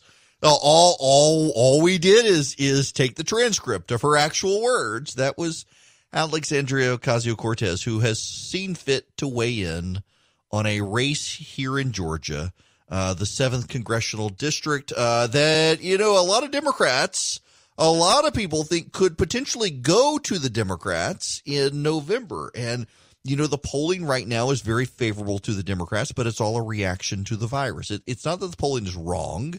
It's just that the polling is right now. It's it's not polling in the future. We're not getting a sense of where the race may be. Uh, there's no reason to panic about it. There there actually is a a a real um there there's a a real divide in the country that is well it, it's not going away and it's reflected in the polling and, and there's a real angst in the polling there's a real angst in the uh, country right now over the direction of the country because there, there's worry about the virus. And, and there, as I mentioned before, there are so many people who don't want to take advantage of the good news because they're so worried about more bad news coming. And I understand that, but you can only take that so far. Well, I, I, I need to move on to something away from the virus because uh, do you know what gaslighting is? Hang on a second. Let me. Um, let me where, where here it is. Um, I, I need to read the Wikipedia entry for you. Gaslighting is a form of psychological manipulation in which a person or group covertly sows seeds of doubt in a targeted individual, making them question their own memory, perception, or judgment, often evoking in them cognitive dissonance and other changes such as low self esteem. Using denial, misdirection, contradiction, and misinformation, gaslighting involves attempts to destabilize the victim and delegitimize the victim's beliefs. Instances can range from the denial by an abuser that previous abusive incidents occurred to the staggering or bizarre events by the accuser with the intention of disorienting the victim. The term originated from the British play Gaslight uh, in 1938, but performed as Angel Street in the United States. It was adapted into films in 1940 and 1944, both called Gaslight. The term has been used in clinical psychological literature as well as in political commentary. Uh, in the play uh, Gaslight, this husband attempts to convince his wife and others that the wife is insane by manipulating small elements of their environment and insisting she is mistaken, remembering things incorrectly, or delusional when she points out these changes. The play's title alludes to how the abusive husband slowly dims the gas lights in their home while pretending nothing has changed. in an effort to make his wife doubt her own perceptions. He further uses the lights in the sealed off attic to secretly search for jewels belonging to a woman who he has murdered. He makes loud sounds as he searches, including talking to himself. The wife repeatedly asks her husband to confirm her perceptions about the dimming lights, noises, and voices, but in defiance of reality, he keeps insisting the lights are the same, and instead that she is going insane. He intends on having her assessed and committed to a mental institution, after which he will be able to gain power of attorney over her and search more effectively. Gaslighting. We are being gaslit by the Democrats and the feminists. Let me read you the headline. This is a, a uh, opinion piece at the New York Times. Believe all women is a right wing trap. Joe Biden has been accused of sexual assault, and conservatives are having a field day, exultant that they've caught feminists in a new hypocrisy trap. A woman with no corroboration beyond contemporaneous accounts charges a powerful man with a decades old crime. Hmm. Doesn't that sound mighty close to Christine Blasey Ford's complaint against Supreme Court nominee Brett Kavanaugh? Yet this time, many liberals who've championed the Me Too movement seem skeptical. Gotcha. Tim Graham, executive editor of Newsbusters, where is the Me Too movement on the story? What happened to their rigid believe all women boilerplate? Fox News host Tucker Carlson, the infuriating, the sickening hypocrisy of the media and the professional feminist movement. Believe all women. No, they don't. White House advisor Kellyanne Conway. Three magic words believe all women. I didn't hear an asterisk. In fact, believe all women does have an asterisk. It's never been feminist boilerplate. What we are witnessing is another instance of the right decrying what it imagines the Americans women movement to be. Spend some mind numbing hours tracking the origins of Believe All Women on social media sites and news databases, as I did, and you'll discover how language like a virus can mutate. All of a sudden, yesterday's quote suffer the insertion of some foreign DNA. All the word inserted was all the rage during the Kavanaugh hearings when senators from Kamala Harris, Harris to Mazie Hirono had their regard for Dr. Blasey's credibility elevated by Fox News pundits to universal gender credulity, their actual words, I believe her, became believe all women. That's literally the hashtag former Fox News contributor Morgan Ortagus said in February 2019. There's a great search function on Twitter. You can search believe all women. For those of you who don't believe that's what the Democrats had in the Kavanaugh case, is there literally a hashtag? Well, kind of. Meaningfully tracking hashtags on Twitter is a confounding chore, even for the professional data scrapers I consulted. It's a very interesting rabbit hole, Pablo Morales Henry, digital archivist at Harvard University Schlesinger Library, which maintains a collection of more than 30 million Me Too related tweets, told me. Nevertheless, let's take the challenge. As she noted, Twitter has a search function. While hardly great, does at least crudely reflect the site's use. Type in Believe All Women for 2017 when the Me Too movement took off in October, and you get several dozen references, followed in October by many more. Here's the thing I found the hashtag is by a wide margin used mostly by distractors. Wait, wait, wait, wait, wait, wait, wait, wait, wait. Let me read this sentence again. I found the hashtag is by a wide margin used mostly by its detractors. So, in other words, there are people on the left who use believe all women. You know, here's the thing this is gaslighting. It was objectively true that believe all women and believe women were both things the left claimed we saw Republicans attacked for refusing to believe women, for, for claiming. We saw Hollywood celebrities say that uh, you had to believe women, you had to believe all women. You, you saw this time and time again. And now they're saying, no, not really. No, it was actually people on the right say this. Well, of course, people on the right were saying it because we were mocking the people on the left saying, believe all women. You had Hollywood celebrities saying this. You had Hollywood celebrities leading the charge about believe all women. You saw it with the accusations against Weinstein. You saw it with the accusations against Matt Lauer, with Bill Cosby, with with um with, with uh, Charlie. What's what's his name? Um, Charlie Rose. And you saw it with Brett Kavanaugh, believe all women. And now here come the feminists say, no, actually, it was really the right using that. No, it, this is gaslighting, folks. This is gaslighting. I lived through the Brett Kavanaugh controversy.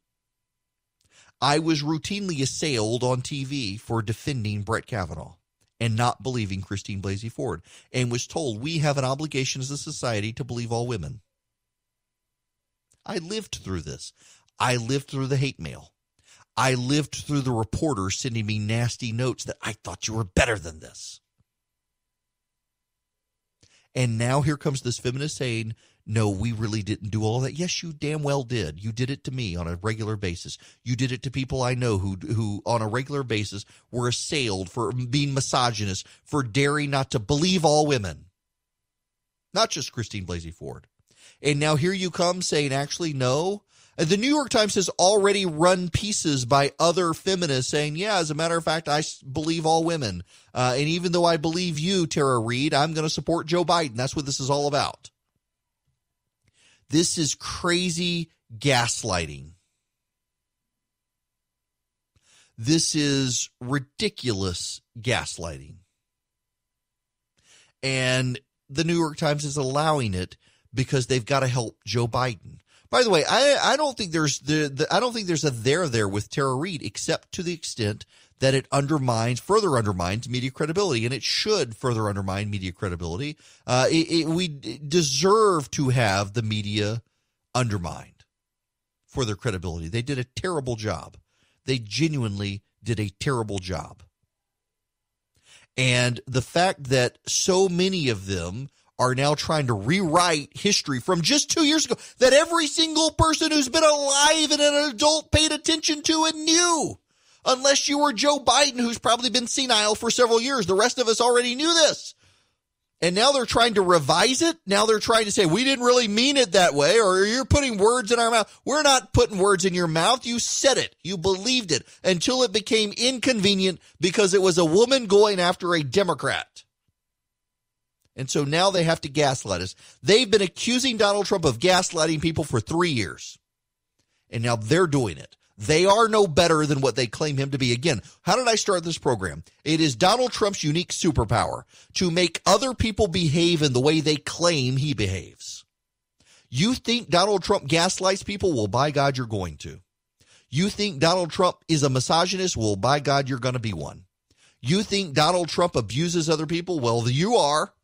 You think Donald Trump is a serial liar? Then you probably are too. Donald Trump makes other people behave in the way they claim he behaves. It is his unique superpower. They believe that he gaslights people, and so by God, they're going to gaslight us and tell us that the last three years of American history that we lived through, the Kavanaugh hearings and the like, really didn't happen. They're willing to lie to get Joe Biden elected, and they're willing to keep you sheltered in place to wreck the economy to make sure Donald Trump loses. Man, so I, I put in the believe all women hashtag, and yeah, as a matter of fact, uh, it is a massive number of progressives berating people for not believing all women. Uh, funny how that works. Yep, there there absolutely absolutely are people out there who on the right were throwing it in people's faces, but um, my goodness, um, there were a whole lot of people on the left who were using "believe all women," who said we had to believe all women, who who adopted this hashtag, and it was people on the right who began at the end of 2018 throwing it in people's faces, throwing it in the left's face, as uh, people like Michael Avenatti were showing stunning hypocrisy when it came to the issue of believing all women, um, my goodness gracious. Um, look at that. Um, wow. Yep. All sorts of all, all all sorts of people on the left who we're adopting the believe women and believe all women and the like. And nope, nope, not anymore, not anymore. We are being gaslit. Good gracious! I, I, I gotta. I, can I give some some commendation? I know this makes some of you mad, but uh, the mayor of Atlanta has uh, gone on TV and said this. Mayor, I believe I remember when we were talking to you prior to the quote unquote reopening of Georgia, which, as we know, was very early. And let's also note there's a robust conversation going on about the quality of the numbers we're all getting out of the state of Georgia. But I think I remember you saying that uh, you hoped to be wrong, that you hoped the situation would be better than you feared. And if you were in fact wrong, you would say to the governor, I was wrong. Is is there a um, is it a little muddier than being able to say I was right or are, I was wrong? Are we, as of the time of this conversation, somewhere in the middle? Do you think? Um, I, well, what I can say, Brian, is it's not as bad as I thought that it would be. So I am pleased about that, but I still think it's too soon to say the reason being whereas initially we were seeing increases between deaths and people testing positive rising anywhere from 25 to 30 percent over a seven day period. Right now we're somewhere between 12 and 15 percent.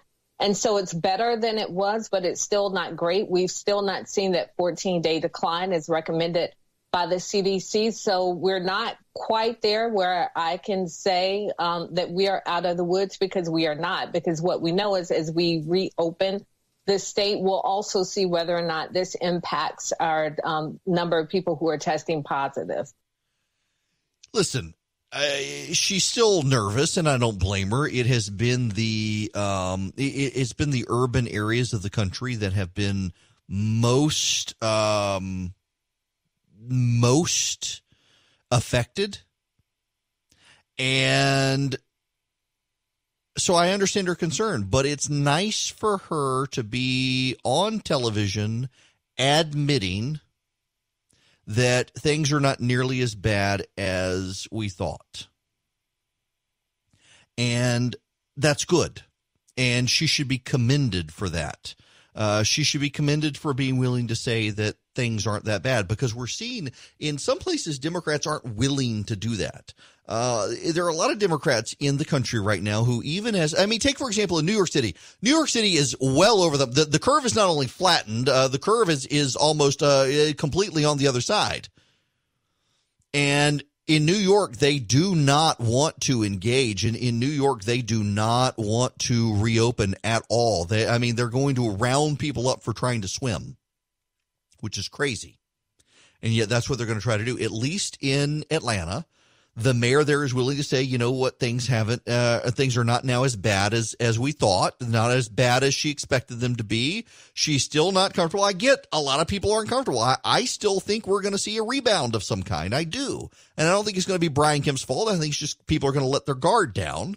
Hopefully the summer heat will stop that. You know, the places that have managed to avoid a major rebound are the places that get hot. Uh, and and so hopefully that'll happen here. But man, the good news is out there. Enjoy it. Hospitalizations in Georgia under a thousand. That's great news, folks.